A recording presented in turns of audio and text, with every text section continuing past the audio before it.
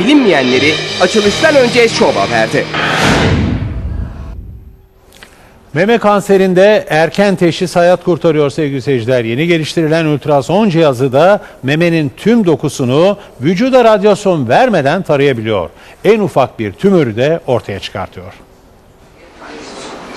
Kadınlar arasındaki en yaygın kanser türü meme kanseri ve hala erken tanı hayat kurtarıyor. Bu nedenle memede oluşan bir tümörü erken safhada bulmak gerekiyor. Meme taraması 40 yaş üstü bayanlarda senede bir defa yapılması gereken bir incelemedir. Ailesinde meme kanseri olanlarda bu taramayı 10 yıl erkene çekebiliriz. 40 yaşından sonra teşhis yöntemleri arasında en etkilisi mamografi ama erken dönemde meme dokusu ultrasonla kontrol ediliyor. Ve Türkiye'de yeni kullanılmaya başlayan bu ultrason cihazıyla doktor eliyle değil otomatik olarak meme dokusu 3 boyutlu olarak taranıyor. Bu cihaz bir ultrasonografidir.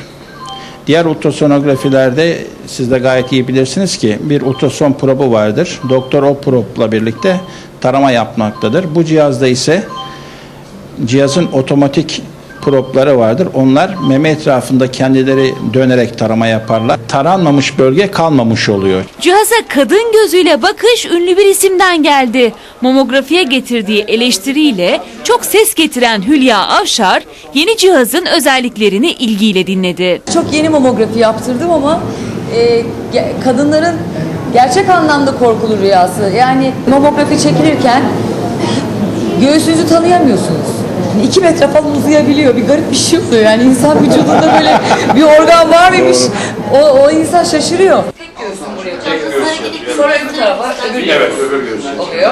Bu daha kolay. Yani iki saat şekilden şekil girmeye gerek kalmıyor. Ve cihazla ilgili son bir not. Ultrason incelemelerinde hasta radyasyona maruz kalmadığı için bu cihazla her yaş grubunun taraması yapılabiliyor.